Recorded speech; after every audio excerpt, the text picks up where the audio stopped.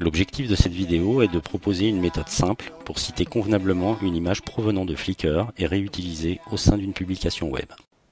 Flickr est un site bien connu de partage de photographies et de vidéos. La licence tout droit réservé est proposée par défaut aux utilisateurs lorsqu'ils partagent l'une de leurs créations.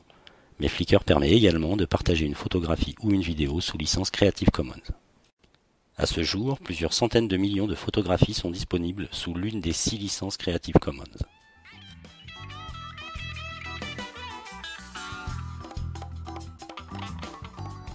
Côté interface de consultation, les informations concernant la licence de la photographie sont disponibles à deux endroits différents. Lorsqu'on visualise une photographie, on retrouve facilement les informations de licence.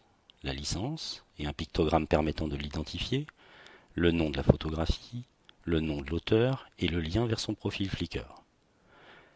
Via la fonctionnalité téléchargement toute taille, on retrouve également les informations sur la licence et le nom de l'auteur clairement affiché au sein de la page. Le problème se corse lorsque l'on veut réutiliser une photographie et notamment au sein d'une publication web. En l'absence de code de citation proposé par la plateforme, il faudra en effet composer le code de citation de la licence. Quelques connaissances du langage HTML seront alors requises.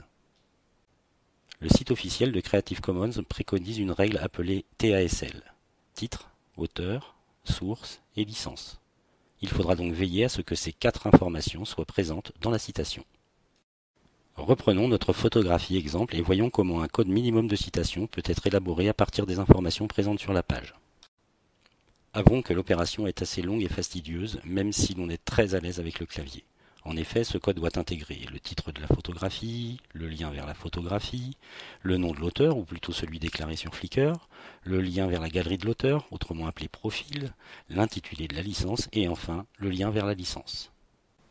Heureusement, il existe quelques alternatives à la création manuelle du code de citation. Parmi celles-ci, le service URL2CC permet d'obtenir à partir de son URL le code HTML de citation d'une photographie hébergée sur Flickr et placée sous l'une des six licences Creative Commons. L'utilisation du service est très simple, puisqu'il consiste à copier-coller l'URL de la photographie Flickr pour obtenir le code de citation correspondant.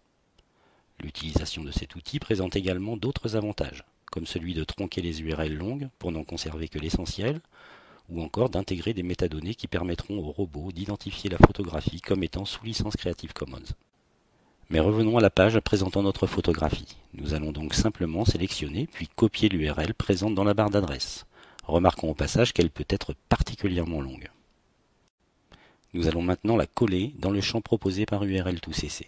On obtient alors le code de citation approprié, ainsi qu'un aperçu des informations qui seront affichées.